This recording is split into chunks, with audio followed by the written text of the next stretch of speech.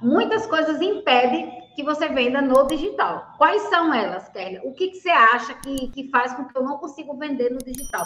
Não saber como usar a cada rede social de forma estratégica. Tem muita gente que quer vender no Instagram do mesmo jeito que vende no WhatsApp, do mesmo jeito que vende no Facebook. Lembrando que eu trabalho aqui estratégias de vendas usando as três redes sociais de forma interligada. Então, se você não consegue vender de forma estratégica em cada rede social, você vai apanhar, digamos assim, e não vai conseguir ter resultado. É como se você estivesse querendo se comunicar com o público, mas não está conseguindo acertar a forma de falar com essas pessoas. Eu estou querendo falar com um grupo de crianças, mas a linguagem dos idosos, o exemplo. Então, você nunca vai conseguir se conectar com essas pessoas. Então, cada rede social tem sua particularidade. Cada rede social tem um jeito certo de você trabalhar.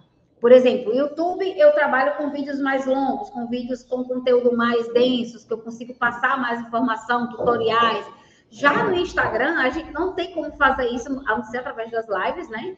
É, mas, por exemplo, no Instagram eu não consigo fazer é, um conteúdo como eu faço aqui. Eu até faço, mas não dá o mesmo impacto, não traz o mesmo resultado. Porque o YouTube é um buscador. O YouTube é como se fosse o Google, sendo que em vídeo. Então, por exemplo, é, eu quero aprender a amarrar um sapato de forma diferente. Eu vou no YouTube, digito e aparece uma resposta para mim. Então, aqui no YouTube, a gente precisa trabalhar respondendo perguntas.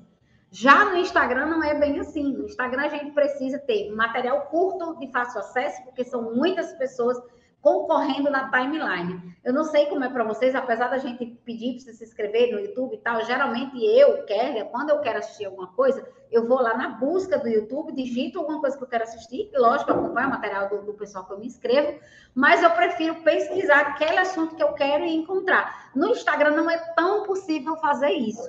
No Instagram é assim, você se segue as pessoas e o que aparecer ali na timeline é o que você vai ver. Lógico, é, você pode pesquisar algumas coisas, mas não é tão fácil, confesso a vocês, não sei como é para vocês, pesquisar no Instagram.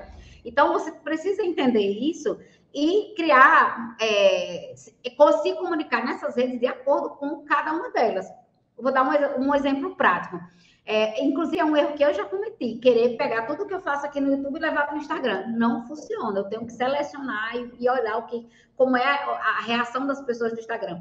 Vamos dar um exemplo. Nos stories. Os stories é o, para mim, né, apesar de, de, ter caído drasticamente o meu alcance nos stories, ainda assim, para mim, os stories é o que faz o meu cliente, minha aluna, minhas pessoas que vão se tornar minhas alunas no futuro, se, se, se tornarem clientes. Por quê? Porque eu conquisto ela ali, faço algum material de, de, de, de, entrada, topo de funil, que a gente chama nos conteúdos ali, nos posts, nos posts. A pessoa se interessa, entra no meu stories, aí sim se conecta comigo e daí se torna aluna ou aluno. Ou através de uma live. É dessas duas maneiras que, é, que, eu, que a gente consegue é, fazer os alunos né, chegarem até mim e se inscreverem nos meus treinamentos é, conhece ali pela, pela postagem aberta, mas ou entra nos stories para se aprofundar, ou entra nas lives, que a gente chama de conteúdo longo, e acaba se inscrevendo. Entendeu? Então, no Instagram funciona dessa forma. Então, para mim, hoje, é, é, isso que eu passo para as alunas. Olha, se você quer vender no Instagram, não é para você enlouquecer lambendo conteúdo para o feed do Instagram. É importante você ter conteúdo atrativo, até porque ali o feed do Instagram é uma vitrine. Se você não sabe trabalhar bem vitrine, como é que o seu cliente vai chamar atenção para ele olhar o que tem dentro da sua loja, entendeu? Já no YouTube, não. Já no Facebook é de outro jeito, no WhatsApp é de outro jeito. Então, o primeiro erro grotesco que muita gente comete é não saber como é, trabalhar nas diferentes redes sociais.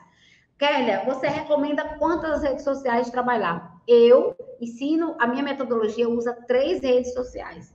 E você não recomenda o YouTube? Recomendo, mas a maioria dos empreendedores de produto físico e serviço não tem o hábito, ou não tem tempo, ou não, não acha interessante trabalhar YouTube. Ok, no meu caso, eu trabalho com educação, é completamente diferente. A maioria das pessoas que me acompanham trabalham com produto físico e serviço. Então, o que eu recomendo, que não há necessário passar disso, é usar essas três redes: WhatsApp, Instagram e Facebook. Se você quiser se aventurar em mais alguma, vai para o TikTok, vai para o, o, Pinterest, dependendo do segmento, artesanato, muito bom. Mas essas três já está de bom tamanho.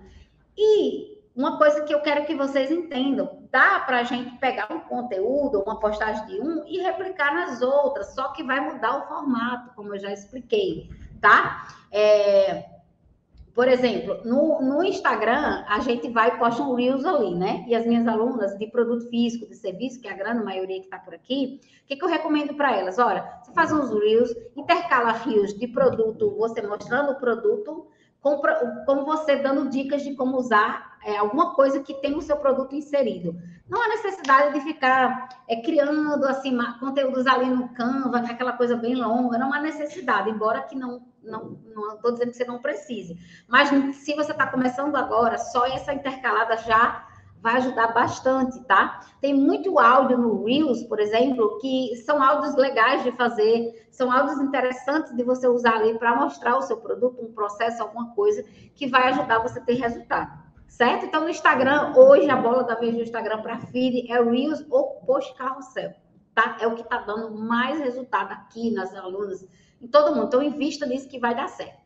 Beleza, entendi o Instagram. Agora, isso eu tô resumindo, tá? E os stories. Sem stories, gente, eu nem assim, nem digo que você entrou pro jogo. Porque você trabalhou bem a sua vitrine, mas cadê o, a loja aberta? Cadê o povo entrando na sua loja? Então, se você não faz stories, é, você nem entrou pro jogo do digital ainda, tá, gente? Eu nunca vou deixar de dizer isso, até que muda alguma coisa, eu mudo minha conversa.